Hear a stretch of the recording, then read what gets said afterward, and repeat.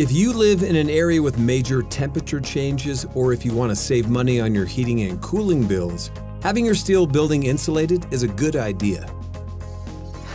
Insulation will help your building retain heat in the winter and stay cooler in the summer by creating a barrier in the roof and walls that helps keep moisture and condensation out by reducing conduction. Condensation is created when warm air inside the building comes into contact with a cold surface, like the roof or wall panels.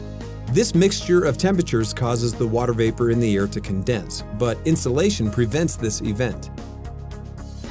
Moisture and condensation are one of the biggest threats to a steel building, and if it's allowed to build up, eventually rust can form.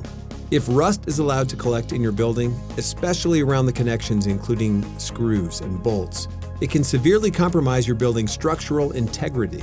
At the very least, the roof should be insulated, though we strongly recommend insulation throughout the building. There are four types of insulation batt, foam board, insulated panels, and spray foam. Each provides an elevated R value as you increase its thickness.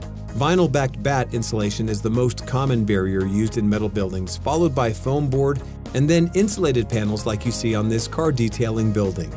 Spray foam is not accepted industry-wide and not recommended because the foam can trap moisture within the area it has been sprayed and has no permeance level like vinyl-backed fiberglass insulation.